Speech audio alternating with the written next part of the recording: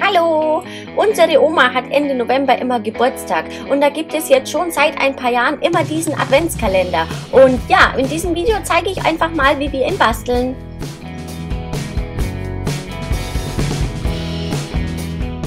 Zuerst benötigt ihr ein paar Kleinigkeiten zum Füllen und ich finde beim DM kann man sich da so richtig austoben. Da findet ihr dann auch gleich ein paar schöne Weihnachtsservietten und ein Band zum Zubinden. Dann kann es auch schon losgehen und ihr beschriftet 24 Blätter, ja von 1 bis 24 und benutzt am besten einen dicken schwarzen Stift.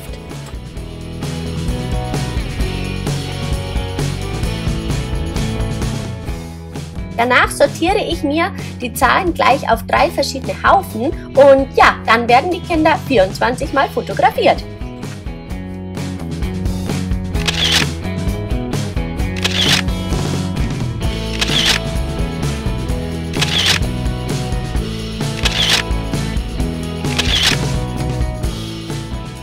Danach druckt ihr die Fotos einfach auf Passbildgröße auf Fotopapier aus. Wie ihr seht, machen die Kinder beim Fotografieren 24 verschiedene lustige Grimassen. Die Bilder schneidet ihr am besten mit einer Schneidemaschine aus, wenn ihr habt, aber es geht natürlich auch mit einer Schere.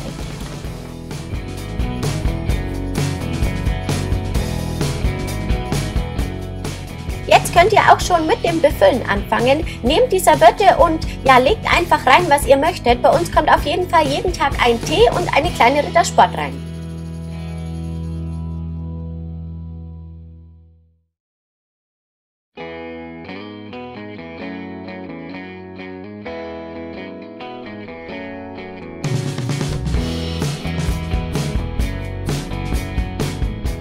Die Serviette gut zubinden und danach an den Enden einfach das Foto befestigen. Und fertig ist euer erstes Türchen. Das Ganze nun 24 Mal.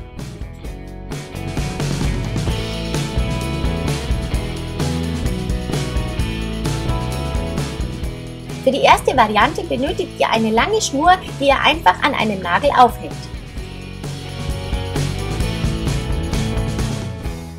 Die Säckchen einfach der Reihe nach an die Schnurknoten und dabei achten, dass die, die zuerst aufgemacht werden, ganz unten hängen.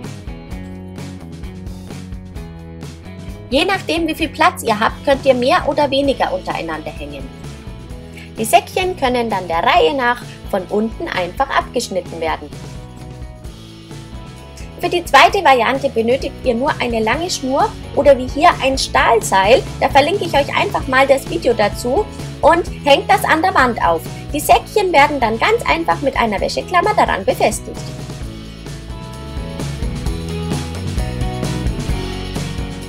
Die dritte Variante geht am einfachsten und schnellsten. Ihr nehmt euch einfach eine große Schüssel und macht die Säckchen der Reihe nach rein.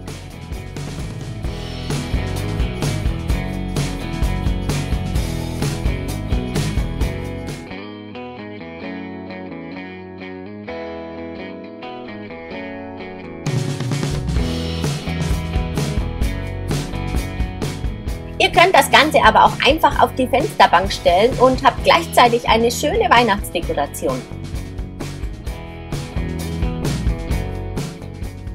Ich hoffe, das Video hat euch gefallen. Ich finde, es ist wirklich ein sehr schönes persönliches Geschenk, gerade für Großeltern, Papas, Paten oder oder. Und ja, wenn es euch gefallen hat, lasst mir doch gerne einen Daumen oben da und meinen Kanal könnt ihr natürlich immer kostenlos abonnieren. Bis zum nächsten Mal. Tschüss!